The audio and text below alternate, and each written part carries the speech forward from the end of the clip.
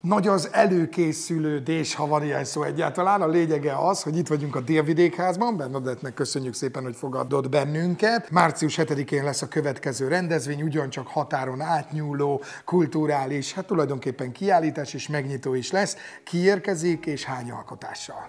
Molnár Imre érkezik, szabadkai grafikus művész, 32 alkotását mutatjuk be, festőművész, grafikus, fafaragással is foglalkozik, jelen pillanatban éppen templomoknak restaurál. Csütörtökön 17 órától Szombathelyi Árpád fogja megnyitni, Kisteleki festőművész, aki régi barátsággal kötődik Molnár Imréhez, Sejben Gyűző fog gitárjátékával egy kicsit az, az színvonalán emelni, meg azért vagyunk, azért működünk, hogy azok mindazokat, akik valamiféle szinten kiemelkedőt alkotnak, akár irodalom, akár kulturális szinten, akár festészetben, bármiféle módon, azoknak lehetőséget adjunk arra, hogy bemutatkozzanak.